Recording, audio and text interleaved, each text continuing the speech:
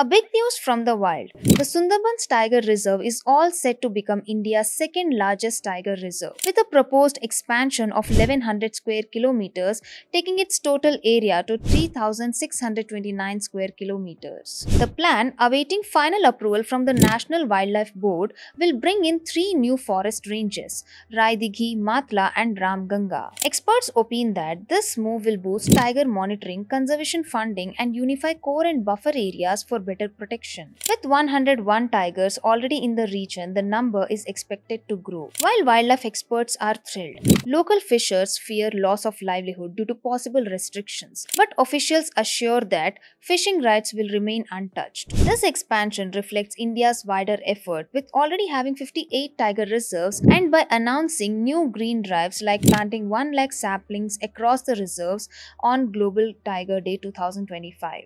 What steps do you think the government should take to prioritize wildlife conservation without affecting the local livelihood? Let us know in the comment section below. Thank you for watching. Stay tuned and subscribe to Epitome IAS.